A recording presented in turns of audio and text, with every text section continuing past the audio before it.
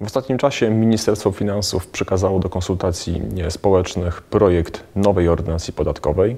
Jest to istotny akt z perspektywy działalności Krajowej Administracji Skarbowej, jak również sposobu e, realizacji swoich rozliczeń podatkowych e, przez podatników.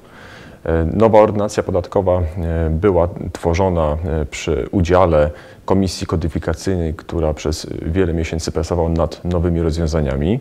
Przedstawiona, e, przedstawione przepisy e, zakładają różnego rodzaju nowe instrumenty prawne, zarówno dla e, podatników, jak dla samej administracji podatkowej. Oczywiście warto zastanowić się, czy w chwili obecnej warto tworzyć nowy akt prawny i zadać sobie pytanie, czy nie lepszym rozwiązaniem byłoby znowelizowanie obecnie obowiązującej ordynacji podatkowej, która, można powiedzieć, nie jest ustawą o długotrwałej czasie funkcjonowania. Jest to ustawa z 1997 roku.